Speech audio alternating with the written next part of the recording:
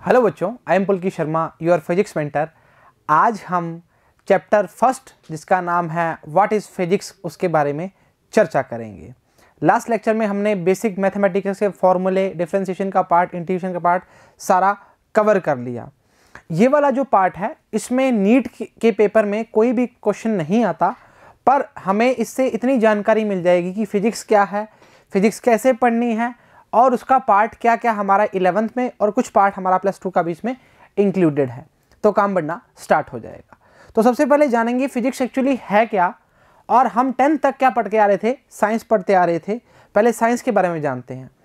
तो हमारे इस फ़िज़िकल वर्ल्ड के अंदर पूरे संसार के अंदर या पूरे ब्रह्मांड के अंदर जिन भी चीज़ों को हम सेंस करते हैं, हम देखते हैं, हम छूते हैं, हमें पता लगता है ये चीज़ गर्म है, ये चीज़ ठंडी है, देखते हैं ये चीज़ ज़्यादा ब्राइट है, ज़्यादा लो है तो हमें कैसे पता लगता है? देख कर पता लगता है हम उस चीज़ को ऑब्ज़र्व करते हैं। तो हमारा ये नॉलेज क्या है? ये ऑर्गेनाइज नॉलेज है। मतलब हमने इस चीज़ को क्या किया? ऑर्गेनाइज किया। तो साइंस की जो डेफिनेशन होगी स्टार्टिंग की, हम उसको यही बात करेंगे साइंस में तो हम बोलेंगे it is organise knowledge about the natural phenomena which is obtained by observations, experiment and accurate reasoning. अब एक चीज़ बताइए, किसी भी चीज़ को अगर आप देखते हो या उस चीज़ को आप सूंघते हो या उस चीज़, कुछ भी सेंस करते हो, हम उसको क्या बोलते हैं? हम बोलते हैं हाँ भाई, ये राजू को हमने देखा था। या किसी और बात की करते हो, आप चाय को पकड़ते हो, आप बोलते हो, चाय गर्म है तो ठंडी होने दो। तो आपको उस चीज़ का अंदाज़ा हो जाता है कि ये चीज़ गर्म है, ये राजू है तो ये कैसे पता लगता है? कुछ आपने चीज़ें देखी हैं, ऑब्ज़र्व करी हैं, या उसको आपने एक्सपेरिमेंट करके आपने गर्म चाय पी लिया आपकी जीप जल गई तो आपका एक्सपेरिमेंट था ना, ताकि आपकी जीप जल गई।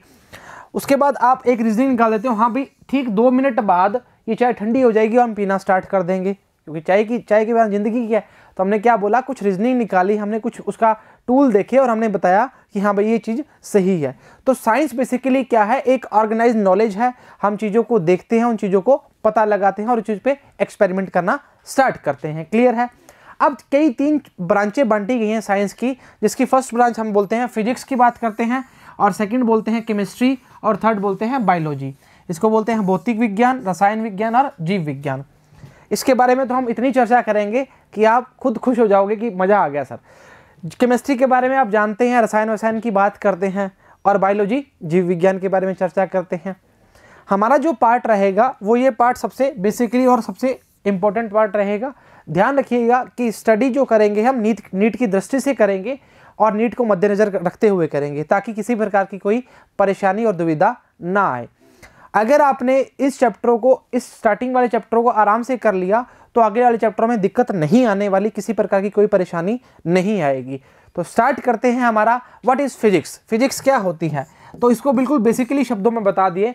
तो हमारे जो आसपास का जो हमारा वर्ल्ड है फ़िज़िकल वर्ल्ड जिसका नाम दिया है, उस वर्ल्ड के अंदर हम जो भी चीज़ें देखते हैं, जो भी चीज़ें ऑब्ज़र्व करते हैं, उस चीज़ को हम लो बना देते हैं। सर लो ऐसे ही बन जाता है। तो लो ऐसे नहीं बनता। लो के लिए बहुत स्टेप फॉलो करने पड़ते हैं। बहुत का मतलब पाँच छः स्टेप होते हैं, उनको फॉलो करना पड़ता है। उसके बाद वो लो बनता है। जैसे आपने बोला कि किसी पत्थर को ऊपर से नीचे फेंकते हैं और एक इंसान है, उसको भी नीचे से ऊपर ऊपर से नीचे फेंकते हैं। तो हमने क्या बोला, सर, दोनों चीज़ें नीचे आ रही हैं। ऊपर पानी फेंका उछाल के, वो पानी भी नीचे आ रहा है। तो ये सर क्या रीज़न के कारण ये पानी नीचे आ रहा है? ये दिमाग में हमारी चीज़ आनी स्टार्ट हुई। हम किसी बॉल को ऐसे लुढ़काते हैं तो वो बॉल बहुत दूर तक जाती है। वहाँ पे हम लोहे की एक मोटी बॉल ले लेते हैं, उसको लुटकाते हैं, वो थोड़ी दूर जाके रुक जाती है। तो आपके दिमाग में आएगा, ऐसा क्या बराबर फोर्स लगाया था, फिर भी वो चीज़ वहाँ जाकर क्यों रुक गई? तो हमने क्या किया, उन चीज़ों को ऑब्ज़र्व किया। अब उन चीज़ों को ऑब्ज़र्व करने के बाद उनको अप्लाई करेंगे, उस पर क्या, हमारा कुछ एक्सपेरिमेंट अप्लाई करेंगे कि यार, जो बॉल हल्की वाली थी, वो शायद आगे चली है। जो कम भारी, ज़्यादा भारी वाली चीज़ थी, वो कम कम दूर तक चली है। तो शायद हमारा भारा और भारी और कम में कुछ फ़र्क हो सकता है। तो शायद आपने वो चीज़ पकड़ ली। क्लियर है बात? तो साइंस और फिजिक्स में हमने क्या बात करी कि साइंस में हम ऑर्गेनाइज नॉलेज की बात करते हैं फिजिक्स में जो हम नेचर की बात करते हैं, पूरे नेचर से जो हम लो उठाते हैं, वो क्या है? फिजिक्स है। और हमारे ब्रह्मांड में क्या, हमारे फिजिक्स में इतने ज़्यादा लॉज हैं, जिसको आप इलेवन ट्वेल्थ में बढ़िया तरीके से पढ़ लोगे। बहुत ज़्यादा नहीं, जितना आपको सफिशियंट है, उतना पढ़ाया जाएगा। और आपको उस चीज़ में फिजिक्स पूरी कवर हो जाएगी। डेफिनेशन पढ़ना स्टार्ट करते हैं। Physics is the branch of science that deals with the study of basic laws of nature, their natural phenomena. अब बात करते हैं मोशन की। फ़र्स्ट पार्ट की बात करते हैं हमारा जो इसका एग्ज़ाम्पल का। अब देखो मोशन क्या होता है? अब हिंदी में बात करेंगे तो क्या बोलेंगे? गति की बात कर रहे हैं। सर, हम जानते हैं हमारी बाइक की गति बहुत तेज है। हम भाग रहे हैं, हमारी गति बहुत तेज है। तो हमने क्या बोला? किसी भी गति की बात करें, वो मोशन की बात करते हैं। अगर दो बाइक्स आसपास निकलने स्टार्ट हो जाएँगे, एक बाइक तेज चल रहा है, उसको रिलेटिव वेलोसिटी वो आगे का पार्ट है, पर बात करेंगे। मैं बोल रहा हूँ ना, आपकी ज़िंदगी में आसपास की होने वाली जो भी घटनाएँ हैं ना, हम ग्यारहवीं बारहवीं में सब सलटा देंगे। बस शर्त यह है कि साथ बनाए रखे, काम बनना स्टार्ट हो जाएगा। और इस लेक्चर के बाद क्या जितने भी लेक्चर होंगे, उसके बाद जो भी टॉपिक हम कवर करेंगे, उसमें किसी प्रकार की नीट के क्वेश्चंस में कोई परेशानी नहीं आएगी और ना ही इलेवन ट्वेल्थ के कॉन्सेप्ट में परेशानी आएगी। क्लियर है? सेकंड बात करते हैं हम एनर्जी की। हाँ सर हम एनर्जी की बात बिल्कुल करके आते हैं। अगर हम इसको देसी भाषा में, या लोकल लैंग्वेज में समझे तो हम बोलते हैं, जब हम बहुत ज़्यादा क्रिकेट खेल लेते हैं, जैसे मान लो संडे का दिन है, सुबह छः बजे उठ के दमादम खेलना स्टार्ट किया, ना खाया, ना पिया, खेलना स्टार्ट किया, दोपहर को दो बज के, ना खाना, ना पीना, हमारी एनर्जी क्या होती है? बिल्कुल वेस्ट जाती है। ऊपर से धूप पड़ रही है। मम्मी आती है, मम्मी कहते हैं, बेटा रोटी तो खा ले, नहीं, हम अभी एक मैच और लगाएँगे। हमने क्या बोला? हमारी एनर्जी अब, ऐसे बोलते हैं ना, यार भाई, अब खेलने की श्रद्धा नहीं है, अब तो भाई एनर्जी खत्म होगी। ठीक है? फिर हम क्या करते हैं? कुछ खाते पीते हैं, फिर हमें एनर्जी आती है। तो एनर्जी की बात करते हैं, वो ऊर्जा है, वो हमारे लोकल लैंग्वेज की बात कर ली। अगर हम फिजिक्स में बात करें तो हम काइनेटिक एनर्जी, पोटेंशियल एनर्जी, बहुत एनर्जी, साउंड एनर्जी एनर्जी बहुत है, पर हम बेसिकली जो चर्चा करेंगे, काइनेटिक और पोटेंशियल की बात करनी स्टार्ट करेंगे। उसी तरह से क्या है? थर्ड है करंट इलेक्ट्रिसिटी अब बात सुनो, हमारे घरों में बिजली तो आती है, बिल्कुल आती है। तो हमने क्या बोला? इसको बोलेंगे विद्युत धारा। क्या बोलेंगे? विद्युत धारा। तो आप तो अभी इतना ही जानिए कि इनके सभी जो हम ये चीज़ें पढ़ रहे हैं, इनके आगे इनको और खोल देंगे। खोल देंगे का मतलब क्या है? कि हम इसको आगे बहुत बेसिक से लेके और ऊपर तक पढ़ेंगे विद इसके न्यूमेरिकल के साथ साथ तो धारा विद्युत धारा के हम जानते हैं कि तारोबारों में हमारे जो इलेक्ट्रॉन्स का फ्लो होता है, उसको विद्युत धारा बोलते हैं। उसी तरह क्या होता है? रेडिएशन की बात करते हैं। तो ये चीज़ें जो आ रही हैं, ये तो अभी बहुत तीन चार हमने एग्ज़ाम्पल ली हैं। इसके बहुत एग्ज़ाम्पल हो सकते हैं और बहुत ही पार्ट हो सकते हैं। अगर हम लिखना स्टार्ट करें तो हमारे दो बोर्ड बढ़ जाएँगे ऐसे। दो भी कम पड़ जाएँगे, बहुत ज़्यादा बोर्ड बढ़ जाएँगे। तो हमने क्या बोला? फिजिक्स क्या है? अगर सिंपल लैंग्वेज में समझो तो इतना सा समझो कि जो बेसिक लॉज हैं और जो नेचुरल फिनोमिनाज के बारे में हम स्टडी करते हैं, वो क्या होता है? फिजिक्स कहलाता है। अब फिजिक्स के लिए हमने कुछ जिस भी चीज़ को लॉ बनाने के लिए हमने बातें करी हैं, वो लॉ एक्चुअली बन जाता है, कैसे बन जाता है? जैसे मैंने बोला कि यार ये बॉल लुढ़क रही है तो ये लुढ़कना एक लो बन गया। ये मानोगे क्या आप? अरे सर, क्या गप मार रहे हो? आप बोलोगे अब इसके लिए हमने दो तीन चीज़ें करी। हमने क्या किया? Scientific method to understand a phenomena and rules आप तो याद रखिए, किसी भी रूल बनाने के लिए उसके कुछ मेथड्स होते हैं। जैसे हम किसी भी मैथ में बात करें तो हम मैथ्स में किसी प्रमेय को प्रूव करते हैं तो उसके कुछ मेथड्स होते हैं। उसको फॉलो करना पड़ता है, फिर काम बनाया माना एक्स बराबर में ज़ीरो तो करना पड़ता है ना? मानना तो पड़ता ही है ना? आओ ज़रा, हमने क्या बोला? सबसे पहले हम क्या करते हैं? ऑब्जर्वेशन करते हैं, उसका अवलोकन करते हैं। अब मान लो क्लास में बैठे हो आप ऑब्ज़र्व कर रहे हो कि हाँ भाई ये बात सही बात बोल रहा है या बोल रही है। उसको आपने ऑब्ज़र्व किया या क्लास में कोई टीचर बच्चे को खड़ा करता है भाई इसका आंसर बता। तो आप उस, उसकी बात को बहुत ध्यान से सुनते हो। हाँ भाई इसने सही आंसर दिया उसको आप क्या कर लेते हो? ऑब्ज़र्व करते हो और आपको जस्ट आपको खड़ा करते तो आप उसको सट बोल देते हो। आपने क्या किया? ऑब्ज़र्व किया फिर आप उसको बोल दिया। सेकेंड बात क्या करते हैं? कंट्रोल्ड एक्सपेरिमेंट अब वही बात अगर आपसे पूछ ली जाए कि हाँ भाई बोर्ड पे आके बता तो शायद आप पाँच मिनट भूल जाओ उसको, क्योंकि वो स्टार्टिंग में ताज़ा ताज़ा याद रहा था। तो हमने क्या किया? पहले उसको ऑब्ज़र्व किया। हाँ भाई इसको ऑब्ज़र्व किया, काफ़ी देर तक ऑब्ज़र्व किया। उसके बाद हमने उस पर एक्सपेरिमेंट किया कि बात सही है या गलत है। इसको बोलते हैं नियंत्रित प्रयोग। आप फिजिक्स में आ जाओ। अब ज़िंदगी में मत रहो। अब नियंत्रित प्रयोग देखते हैं क्या होता है। नियंत्रित प्रयोग। हर सर क्लास में हमारा ध्यान कहीं भी चला जाता है। आओ ज़रा, इधर मत जाओ, इधर व्हाट्सअप पे नहीं जाना, इधर आ जाओ। नियंत्रित प्रयोग का मतलब ये हो गया कि जैसे हमने किसी भी चीज़ को ऑब्ज़र्व किया है, उसके बाद उसके एक्सपेरिमेंट देखेंगे। उसके बाद हम बोलेंगे कि ये चीज़ अगर हमने फेंकी है, ये ज़्यादा दूर तक गई है और दूसरी चीज़ का जब मास बढ़ा दिया तो ये कम दूर तक दी है। तो हमने क्या बोला? उसकी क्वांटिटेटिव रीजनिंग करी हमने। मात्रात्मक तर्क दिए कि हाँ भाई, भारी चीज़ थी तो कम दूर तक गई है। छोटी चीज़ थी, ज़्यादा दूर तक गई इसका कम मास था। उसके बाद क्या होता है? चलो आपने ये तीनों चीज़ें प्रूव कर दी। उसके बाद क्या होगा कि आपको एक फार्मूला क्रिएट करना पड़ेगा फॉर्मूला बनाना पड़ेगा। जैसे मैंने बताया कि किसी भी आपको मैंने एक बॉल की बात करी, वैसे तो आप नाइन्थ क्लास में पढ़ के आ चुके हो एफ़ बराबर में एम ए ठीक है? अगर मैं बोलूँ कि फोर्स सीधा सीधा डिपेंड किस पे कर रहा है? मास पे। एक्सलेशन की बात छोड़ो एक बार, आगे आगे पढ़ेंगे हम सेकेंड चैप्टर में। पर इसकी बात करो, हमने बोला कि फोर्स सीधा सीधा डिपेंड कर रहा है मास पे। अब एक बात समझिए, जैसे एक मैं खड़ा हूँ और मेरे साथ का एक कोई इंसान खड़ा है जो 200 किलो का है, डेढ़ क्विंटल का है अब जितना धक्का आप मेरे को दोगे, मेरे को ज़्यादा इफ़ेक्ट पड़ेगा इसको ज़्यादा इफ़ेक्ट पड़ेगा? नॉर्मल सी बात है, मेरे को ज़्यादा इफ़ेक्ट पड़ेगा, क्योंकि मेरा मास उसके कंपेरेटिवली में बहुत कम है। तो हमने क्या बोला कि जो धक्का है हमारा, अब देखो फोर्स को सिर्फ़ धक्का पड़ेंगे एक बार, बाद में हमारे धक्के जो लगेंगे वो देख लेंगे। आओ ज़रा मास को क्या पड़ेंगे? द्रव्यमान। अभी सर चर्चा, हमारे बिल्कुल घर जैसी चर्चा होनी चाहिए ताकि हमें समझ आना स्टार्ट हो जाए। ये याद करने की आवश्यकता नहीं है, ये सिर्फ़ समझने की आवश्यकता है, ठीक है? जैसे ही हमें धक्का लगाया, हम पे, हमारा द्रव्यमान ज़्यादा था तो हम कम हिले। और वैसे ही अगर द्रव्यमान कम होता तो हम ज़्यादा हिलते तो हमने क्या किया? एक फॉर्मूला बनाया कि एफ़ डिपेंड किस पे कर रहा है? मास पे डिपेंड कर रहा है। तो हमने क्या बनाया मैथमेटिकल मॉडलिंग कर दी उसकी। अब हो सकता है कि आपका दोस्त खड़ा हुए और बोले, नहीं, ये चीज़ गलत बोल रहा है, मैं इसको प्रूव कर सकता हूँ। अगर उसने वो चीज़ प्रूव कर दी मतलब कहने का मतलब उसने चार स्टेप प्रूव कर दिए तो उसका काम बढ़ना स्टार्ट हो जाएगा। मतलब आपका लो गलत हो जाएगा और उसका लो सही हो जाएगा। हो सकता है उसका लो गलत हो और आपका सही हो तो इसका क्या मतलब होता है? उसके वेरिफिकेशन के बाद और फॉल्सिफिकेशन के बाद पता लग जाता है कि वो भाई सही बोल रहा है या गलत बोल रहा है। अगर वो सही बोल रहा है तो वेरिफिकेशन उसका सही हो गया। नहीं तो वेरिफिकेशन आपका गलत हो गया। ओ के लिए वेरिफिकेशन नहीं आता क्या? आपका नंबर हो तो क्या होता है? हाँ भाई वेरीफाई हो गए और नहीं होता तो काम खत्म हो जाता है।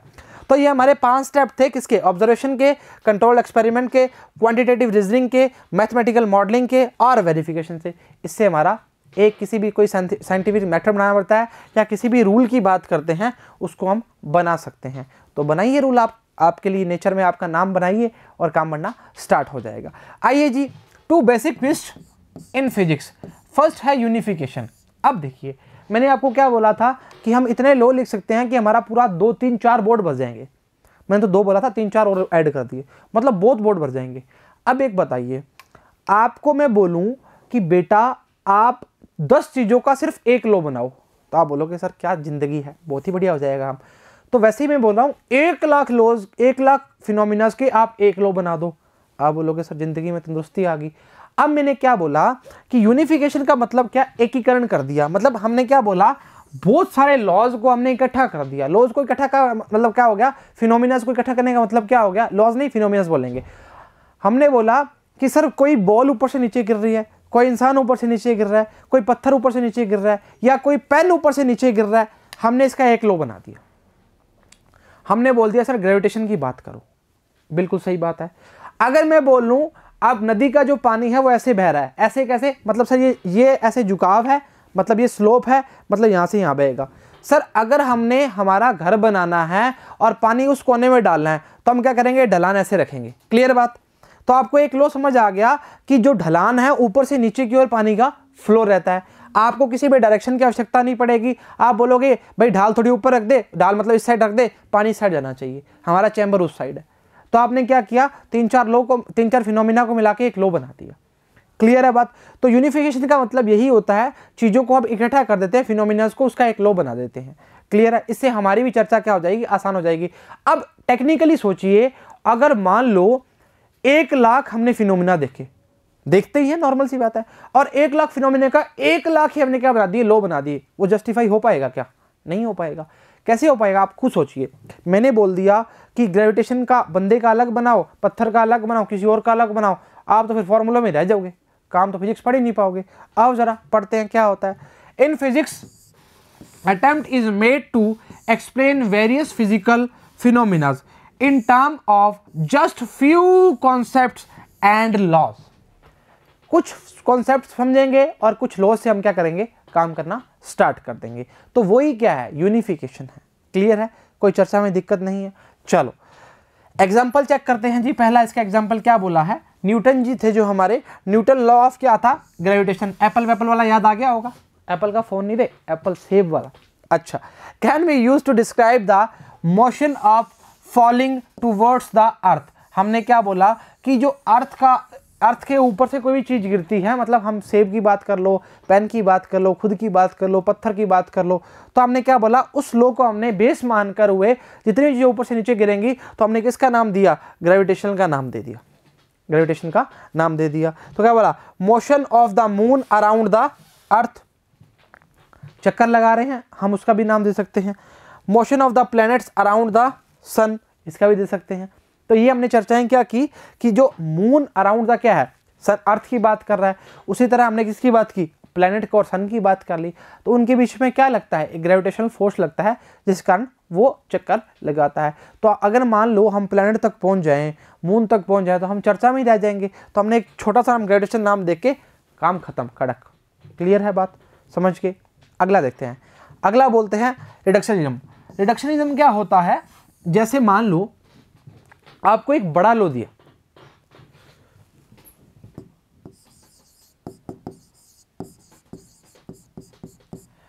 Big law. बिग शो नहीं, बिग लो। हमने क्या बोला, इस बिग लो के लिए, अरे हटाओ इसको, अजीब सा लगता है। चलो कुछ और लिखते हैं। मान लो कि हमने बोला कि एक बहुत बड़ा कॉन्सेप्ट है। उन कॉन्सेप्ट को समझने के लिए हमें छोटी छोटी चीज़ों की बात करनी पड़ेगी। जैसे मैंने बोला कि आप किसी जनरेटर की बात करो। ठीक है? या आप किसी टेलीविज़न की बात करो, या आप किसी फ़ोन की बात करो तो आपने फ़ोन के अंदर क्या क्या चीज़ें हैं उसको खोल के देख लोगे। हाँ सर, एक बैटरी होती है, कुछ चार्जर के लिए एक जैक लगा होता है, स्पीकर, साउंड के लिए एक स्पीकर लगा होता है, वॉल्यूम कम जाना करने के लिए बटन लगे होते हैं तो आपने इसको पूरा खोल दिया। आपने छोटे छोटे माइक्रो उसके पार्टिकल्स देख लिए देख लिए, और उनको आपको जोड़ के एक मैक्रोस्कोपी मतलब एक बड़ी चीज़ बना दी। अगर फिजिक्स में आएँगे तो हम किसकी बात करेंगे? हम जनरेटर की बात करेंगे। जनरेटर तो पड़ा हुआ है तो हमने क्या बोला? जनरेटर में हम पहले देखते हैं, सर मैग्नेट्स लगी होती हैं। दूसरी अगर बात करेंगे, हमने बोला, सर आर्मेचर कोयल होती है।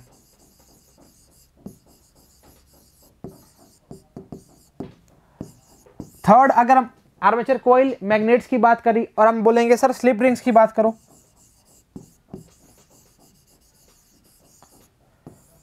ठीक है? ये चीज़ें लगी होती हैं। इसके कारण क्या होता है? हमें पता लग जाता है कि हम जैसे ही चर्चा करते हैं तो ये तीनों चीज़ें लगी हैं, हम इसके बारे में स्टडी कर लेते हैं और जनरेटर का निर्माण कर देते हैं। अब बाहर से देखो तो क्या हरा सा दिखता है और घुमाओ उसको, वो चलना स्टार्ट हो जाता है। धुआँ निकलता है, ये चीज़ें होती है, सर कैसे पता लगेगा? तो हम क्या बोलते हैं? उसको खोलो। मैग्नेट्स होती हैं आर्मेचर कोयल होती है स्लिप रिंग्स लगी होती हैं। हमारा काम बनना स्टार्ट हो जाता है। तो ये क्या है? रिडक्शनिज्म क्लियर है? तो इसके बारे में पढ़ते हैं। Another attempt made in physics is to explain a macroscopic मतलब इसको बोलते हैं स्थूल system in terms of its microscopic मतलब हमने क्या किया? उसकी छोटे छोटे पार्टिकल्स देख लिए मतलब चीज़ें देख ली। कॉन्स्टिट्यूट्स एग्ज़ाम्पल क्या हो गया? जनरेटर हो गया। थर्मोडाइनमिक्स इसके बारे में थोड़ा सा ज़्यादा चर्चा नहीं करेंगे। उसका रीज़न क्या है? थर्मोडाइनमिक्स है, उसके बारे में पूरा एक चैप्टर है। उसकी बात हम पूरी करेंगे। चलो, थोड़ा बता देते हैं। हाँ। अब देखो थर्मोडाइनमिक्स में क्या होता है कि हम हीट की सारी बातें कर देते हैं। गुप्त उष्मा की लेटेंट हीट की बात कर देंगे, कोई पानी गर्म है, ठंडा है, उसके जो लो है फ़र्स्ट लो है सेकेंड लो है, सारे लोज की बात कर लेंगे। मतलब हमने क्या किया हीट की जो भी उष्मा की सारी बातें होंगी, जो भी उष्मा चल रही है, कैसे चलती है, सारी बातें एक लोहे को गर्म कर दिया, वो उसको आने तक कैसे गर्म हो जाता है, उसमें सारी बातें किसमें कर देंगे हम? थर्मोडाइनमिक्स में कर देंगे। और हमारी चर्चा बिल्कुल क्लियर हो जाएगी। तो रिडक्शन हम क्या होता है? छोटे छोटे पार्टिकल्स को हम पढ़ते हैं और एक बड़े पार्टिकल की चर्चा करना स्टार्ट करते हैं। क्लियर है बात? आओ ज़रा। अब है हमारे चार फंडामेंटल लो फंडामेंटल लो वैसे तो लॉज बहुत हैं, पर फंडामेंटल लॉज की बात करेंगे, जो हमारी चर्चाओं को बहुत आसान करेंगे, उसके बारे में बात करेंगे।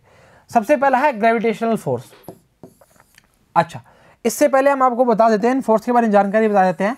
ये जो आपके, ये वाला फोर्स है, ये आप इलेवेंथ क्लास में ही पढ़ लेंगे और इस फोर्स को आप पढ़ेंगे प्लस टू क्लास में। इसको भी, इन दोनों को भी क्या पढ़ेंगे प्लस टू क्लास में। मैंने स्टार्टिंग में बोल दिया था, कुछ पार्ट इसका प्लस टू की भी चर्चा में आएगा। क्लियर है बात? चलो, ग्रेविटेशनल फोर्स क्या होता है? अगर मान लो, किसी भी दो मासेज की बात कर रहे हो मान लो M1 और M2 की बात कर रहे हो तो उन मासेज के बीच में लगने वाला जो फोर्स होता है, उसको हम क्या बोलते हैं? ग्रेविटेशन फोर्स बोलते हैं। आइए ज़रा पढ़ना स्टार्ट करते हैं ग्रेविटेशन फोर्स क्या होता है? आइए। It is the force of mutual attraction between two bodies virtue of their masses अब मैंने क्या बोला था? दो मासेज ले लिए एम वन एम टू उन दोनों के बीच में लगने वाला जो फोर्स होगा, उसको क्या बोलेंगे हम? ग्रेविटेशन फोर्स बोलेंगे।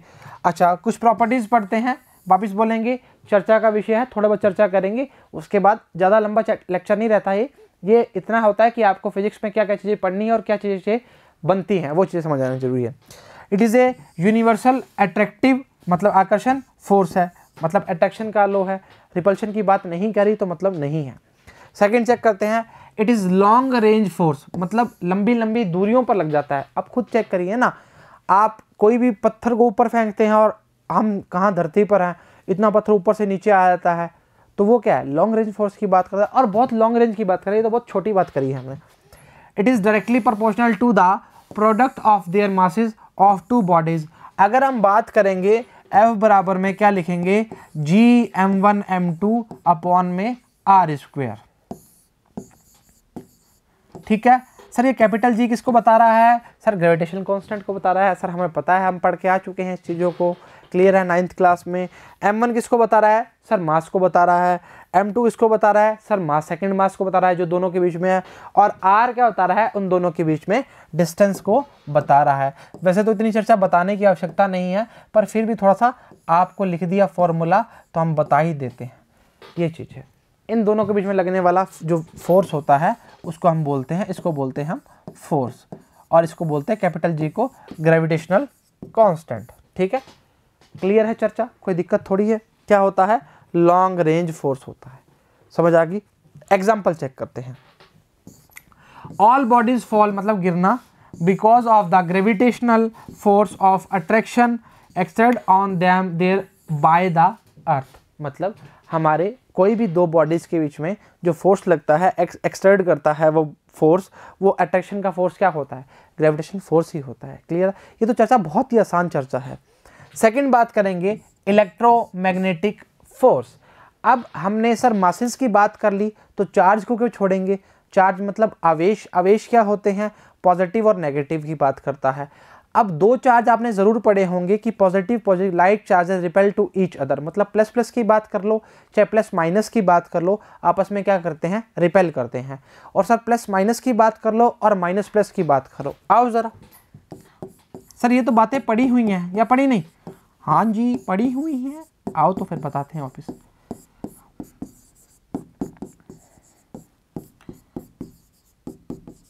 देखो, ये आपस में क्या करते हैं? रिपेल। ये क्या करते हैं? अट्रैक्ट हैं? क्या करते हैं? अट्रैक्ट अट्रैक्ट करते हैं। हमें किसी ने अट्रैक्ट कर लिया, कैसे करता है? देखते ही हुए थे हम तो, तो हमने क्या बोला कि जो सेम चार्जेस होते हैं वो आपस में क्या करते हैं? रिपेल करते हैं। और अनलाइक चार्जेस क्या करते हैं? अट्रैक्ट करते हैं। अच्छा ये बातें चलो छोड़ो चर्चाएँ जो करनी है वो करते हैं। आओ हटाओ ज़रा।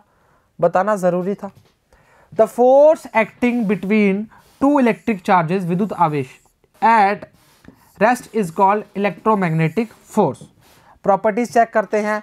इलेक्ट्रोमैग्नेटिक फोर्स में भी अट्रैक्टिव और रिपल्सिव। बता चुके हैं, प्लस प्लस क्या करेगा, रिपेल करेगा, माइनस माइनस क्या करेगा, रिपेल करेगा, और जो अनलाइक होंगे वो क्या करेंगे, अट्रैक्ट करेंगे।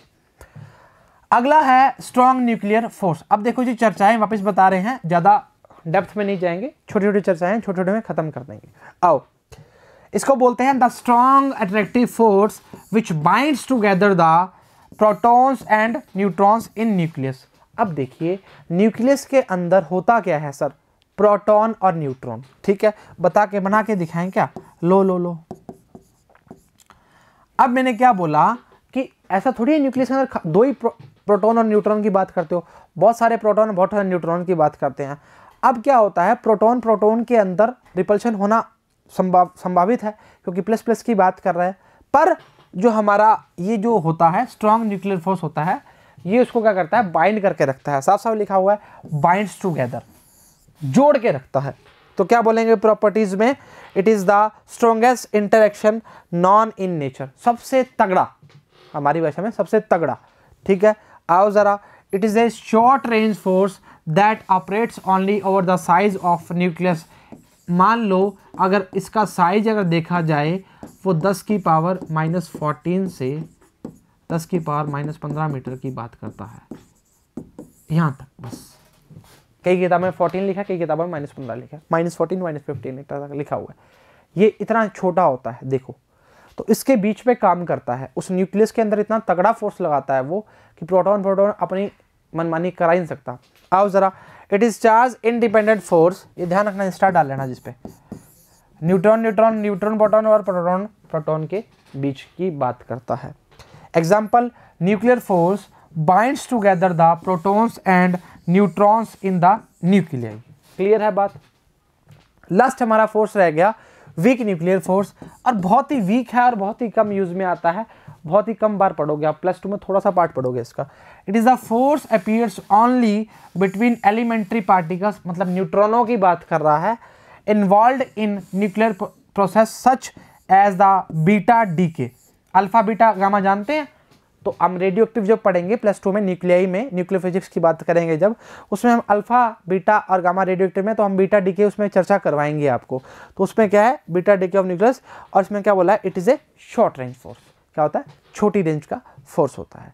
तो ये आपका था छोटा सा एक पार्ट फ़िज़िकल वर्ल्ड का। शायद चर्चाएँ क्लियर हुई होंगी। की नोट्स इसके नहीं बनाएँगे, इसका कुछ बनाने की आवश्यकता नहीं है। नहीं तो हमारा जितने भी चैप्टर का, लेक्चर का पार्ट होता है, उसके हम की नोट बनाते हैं और काम करना स्टार्ट करते हैं। अगला जो चैप्टर है आपका, यूनिट एंड मेज़रमेंट है, और बिल्कुल कमर कस लीजिए और साथ बना रख लिए ताकि काम बनना स्टार्ट हो जाए। इस चैप्टर में आपको सिर्फ़ लेक्चर देखना है, कुछ लिखने की आवश्यकता नहीं रहेगी और ना काम की है। आपको सिर्फ़ याद रखना है, ये चीज़ें हो सकती हैं। साइंस, फिजिक्स क्या होता है, अगर कोई पूछ ले तो बेजती तो ना हो। बता तो है मैं भाई हाँ ऑर्गेनाइज नॉलेज होता है लॉज बनते हैं क्लियर है, किसी भी एक्सपेरिमेंट को कैसे बनाते हैं, ये बात पता होती है, ठीक है? और बढ़िया कॉपी लगाएँ, उस पर प्रॉपर नोट्स बनाएँ।